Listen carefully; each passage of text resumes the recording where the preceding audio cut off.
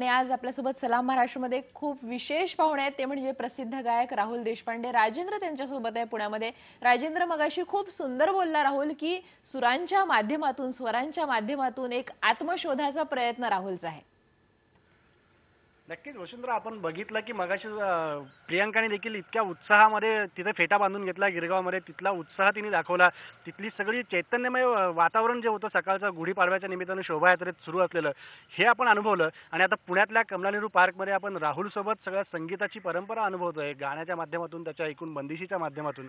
मगाशी बोलताना राहुलनी एक आत्मशोधासाठी संगीताचा कसा उपयोग त्याला झाला ते सांगत होता. हो. की आता आपण राहुल बघितलं की वसंतोत्सवाच्या माध्यमातून आजोबांच्या एकूण त्या गायन परंपरेची तू का एक वारसा पुढे जपायचा सुरू ठेवलायस. हम्म. मध्यंतरीच्या काळात ही लिटल चॅम्प्स तू त्याच्यात आणली हो, नाना नेहमीच निवेदनात त्याच्यात हो, असतो. हो. तर हे सगळं करत असताना नवीन कुणीतरी आपल्या ह्या परंपरेत सामील व्हावं ही भावना त्या मागे असते? याच्या मागची भावना अशी होती माझी की माझे आजोबा स्वतः अत्यंत वर्सटाईल होते. ते तसे लोकांसमोर आले नाहीत. ते आले फक्त कट्यारमुळे.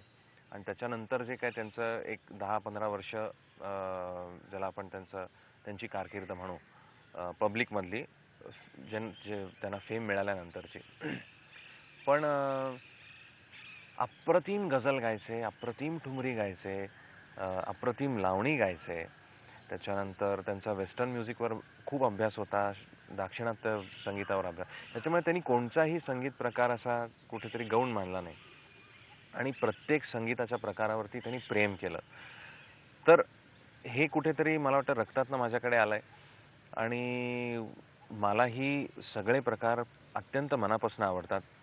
म्हणून वसंत उत्सवात जेव्हा मी माझ्या डोक्यामध्ये आलं की आपण अमुक करावं तेव्हा नानांच्या बरोबरीने ज्याला आपण गॉडफादर म्हणून असे ते माझ्या मागे असतात. पण त्याच्या मागची संकल्पना माझी हीच होती की याच्यामध्ये असं नाही होता कामा की फक्त आपण शास्त्रीय घेतोय ना तर जे फक्त पॉप्युलर आहे ते आपण घेतोय. याच्या मागची संकल्पना अशी होती की जे संगीतामध्ये चांगलं म्हणून आहे की मग ते फ्युजन असेल किंवा वाद्यसंगीत असेल किंवा वेस्टर्न क्लासिकल असेल अजून कोणता प्रकार असेल जॅज असेल ते सगळं ह्या एका प्लॅटफॉर्मवरती सादर व्हावं.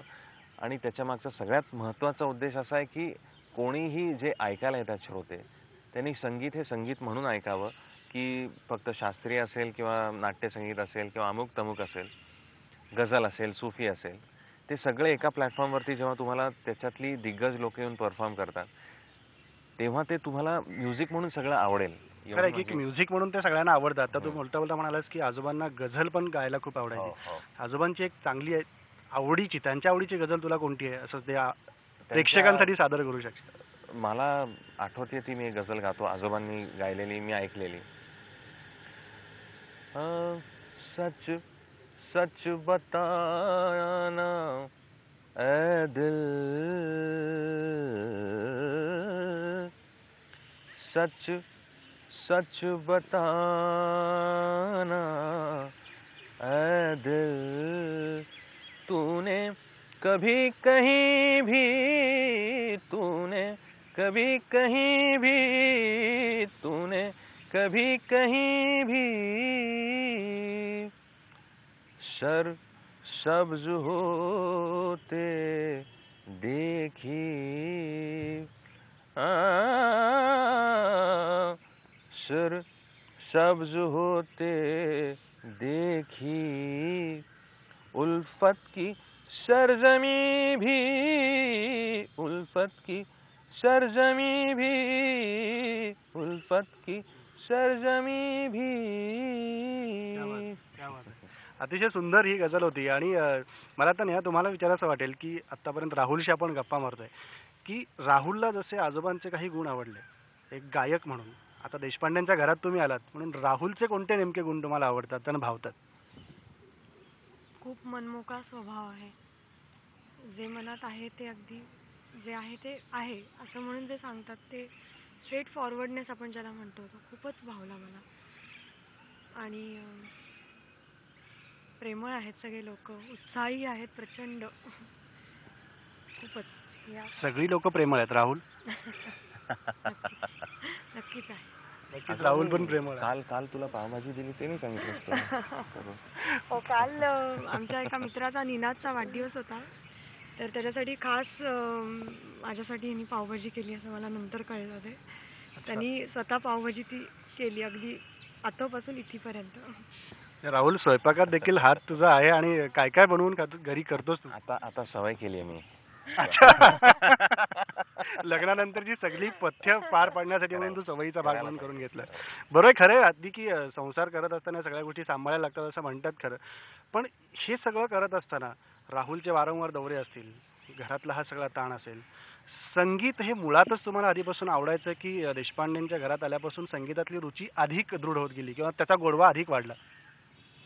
माझ्या घरामध्ये पण थोडीशी संगीताची बॅकग्राऊंड आहे. माझे आजोबा उत्तम हार्मोनियम वाजवायचे आणि माझे वडीलही खूप सुंदर गातात कीर्तनं करतात ते आमच्या गुरु गुरु घरी त्यामुळे क्लासिकलशी बऱ्यापैकी टच होता आणि क्लासिकल ऐक हे माझ्या भावानी भरपूर मला म्हणजे एवढी नव्हती.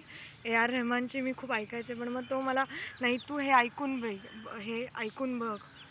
किंवा मग आई जे दुपारी एक बाराच्या सुमारास एक रेडिओ मराठी गाणी सगळी लागायची तो नेहमी लावलेला असायचा आमच्याकडे. त्यामुळे ते कानावर संगीत पडत गेलं आवडो ना आवडो. आता मला ते कळतंय की खरंच आपल्याला ते आवडतंय की मी ते मिस करते कुठेतरी.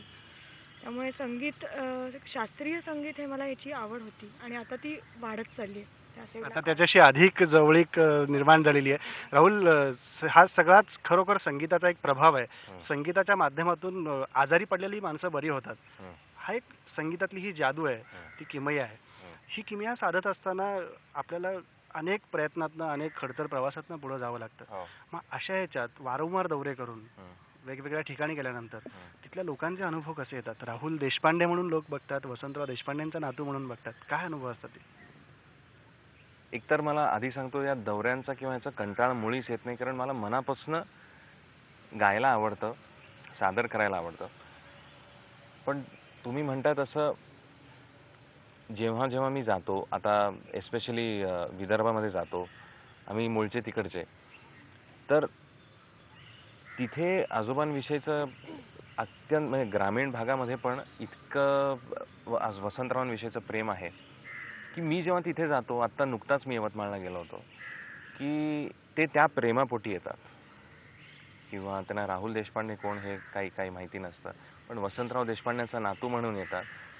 पण जातात ते माझं नाव घेऊन जातात की नाही बाबा त्यांचा नातू पण चांगला गातो आणि मग आपण मी प्रत्येक कार्यक्रमात हे सांगतो की एक वसंतरावांचा नातू म्हणून माझं कर्तव्य आहे तिथे जे आलेले प्रेक्षक आहेत मायबाप आहेत माझे ते ते काही अपेक्षेने आलेले असतात. किंवा मी जर काहीतरी माझंच सगळं वेगळं गायलो आणि माझ्या पुरताच गायलो तिथे. संगीत हे स्वतःपुरतं असतं पण जेव्हा आपण चार लोकांसमोर गातो तेव्हा आपली एक ते कर्तव्य असतं की त्यांना थोडंसं ते आपल्याबरोबर घेऊन जायचं असतं. तर तेव्हा मी प्रेक्षक प्रेक्षकांना सांगतो की बाबा पहिला जो काय मध्यंतरापूर्वीचा भाग आहे तर तो तुम्ही माझ्या आवडीचा ऐका. आणि मध्यंतरानंतरचा भाग आहे तो तुमच्या आवडीचा मी गातो. तर त्याचा इतका चांगला प्रतिसाद लोकांकडनं मिळतो की ते शास्त्रोक्त संगीत आहे किंवा अजून मला जर काही गायचं असेल ते मी पहिल्या हाफमध्ये गाऊन टाकतो. आणि नंतर विचारतो तुम्हाला काय ऐकायचं आहे त्यांच्या ज्या काही फरमाईशी येतील त्याच्यातल्या मॅक्सिमम फरमाईशी मी गाऊन टाकतो. अगदी खरं आहे की आता म्हणालास की पण खुश होतो. आता तू म्हणालास की मध्यंतराच्या पूर्वी तू स्वतःच्या आवडीचं गातोस. आता म्हणालास फरमाईश आहे. आधीच फरमाईश जाता जाता शेवटी की एक बगड्यांची माळ फुले याच्याने. कार्यक्रमाची सांगता आपण करूया. जरूर.